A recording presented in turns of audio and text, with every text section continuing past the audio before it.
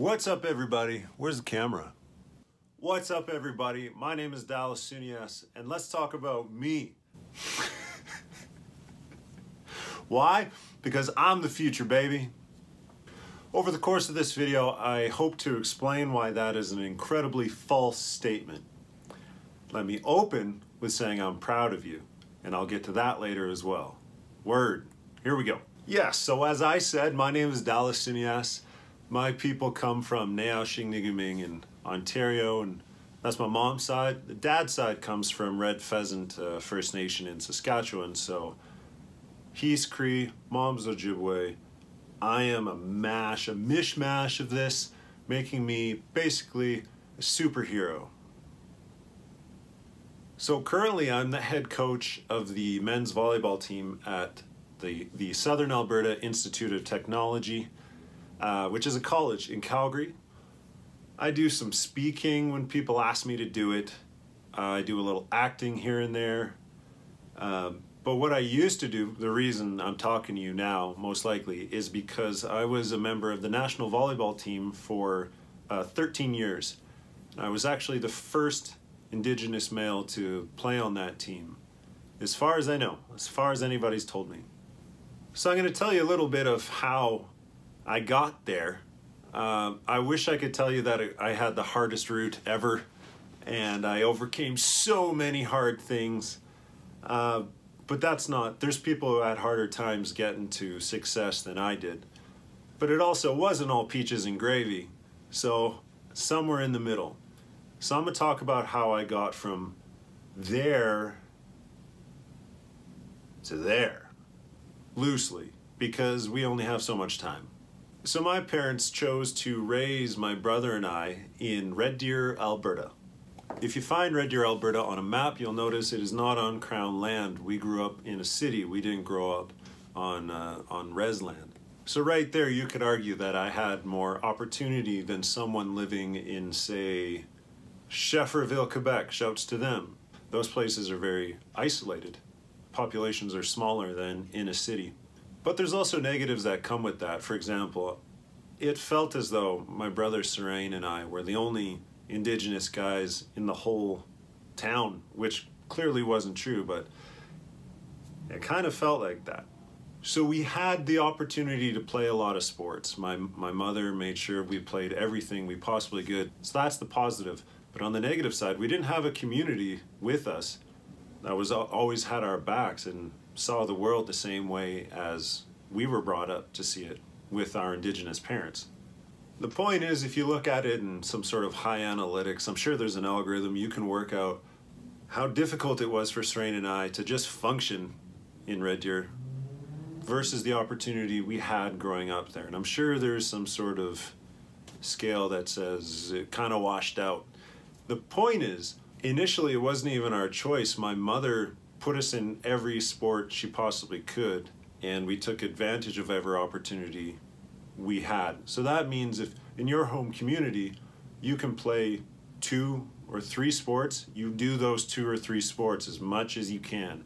The the statistics show that athletes who play lots and lots of sports up until the point they decide to specialize at I don't know, 17 or 18, the athletes who do more sports are going to be way far and above better in the long run than athletes who only try to do one sport.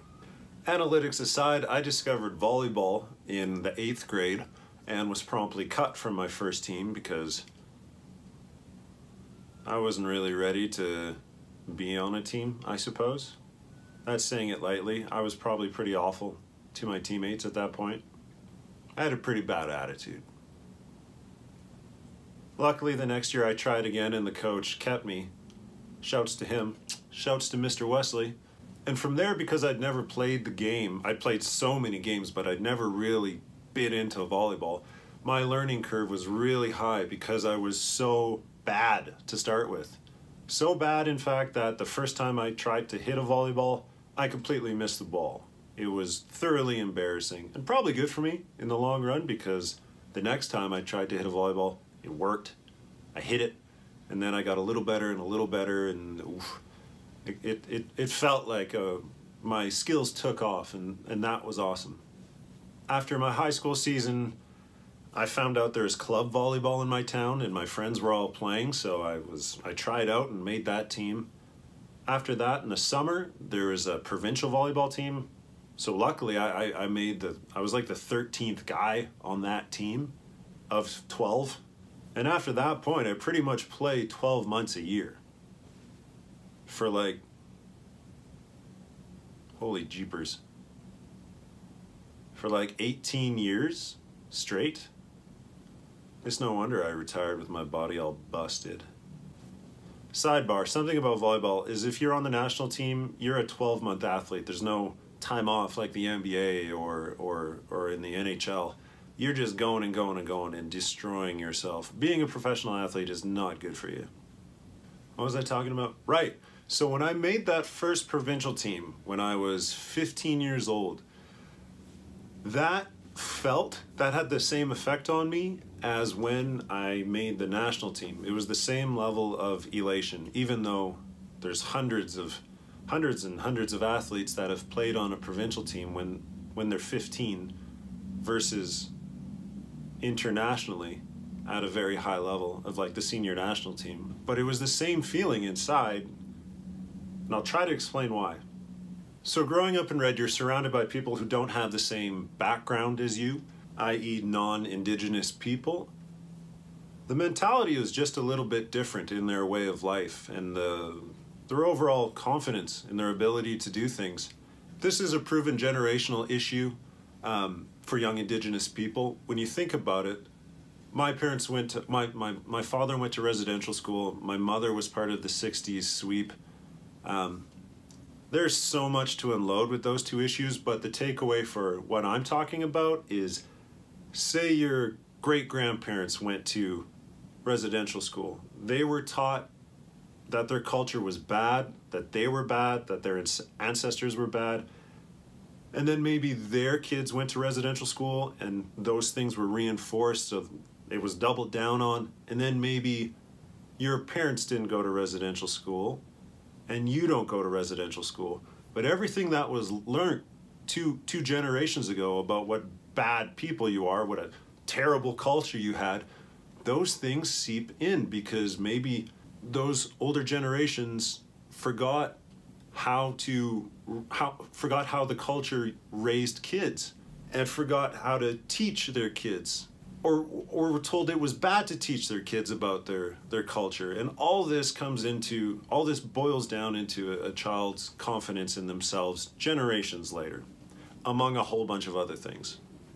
So even though i had the potential and i had the physical ability that was very clear to everybody else i thought i really had no no real chance of making that provincial team so when i did it was it was a pretty ridiculous. I didn't believe I didn't believe the coach when he told me that I, I made the squad, and he likes to tell that story, and it's a funny story, but it's it's so when you break it down, it's so much bigger than just a funny story as to why I, I, I, I didn't believe him. So I took a big risk trying out for that team and then making that team and staying with that team because I wanted to quit that team right from the first day.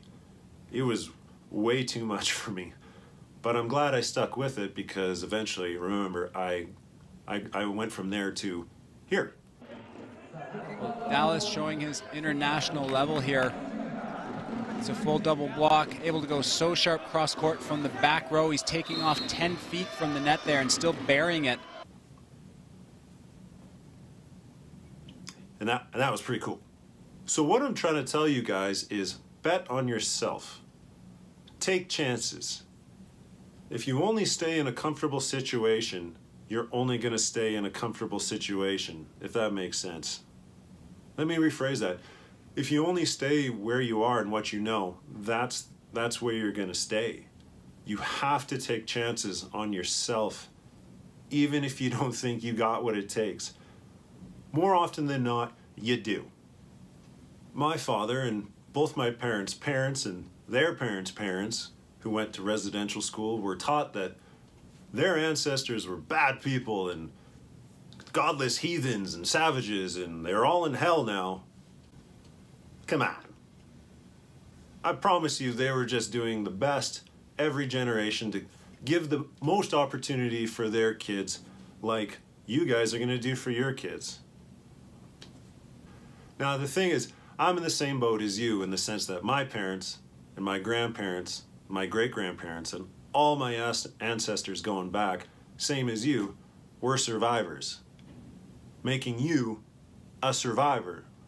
So, again, have confidence in yourself. Understand that you come from a super, super long list of strong survivor people, and bet on yourself. Take chances. So, one of the first things I said is that I am proud of you, and you're probably like, I don't know this guy, man. He don't know me. I kind of do. I'm very proud of you because you are here, you're looking at this video, you're trying to better yourself, you're taking a little step in the right direction. And we all know people your age, my age, who aren't trying to do that. Bang, it's easy. I'm proud of you. So keep learning. Keep trying to better yourself in whatever it is you want to do. And if you're ever worried or concerned about something, there's people that can help. Reach out to me if you can find me somewhere ask your teachers, and then if nobody's around, think about your ancestors and how they were, in fact, really strong people. Again, my name's Dallas. Much love. Be good. Treat each other good. All right, I'm out.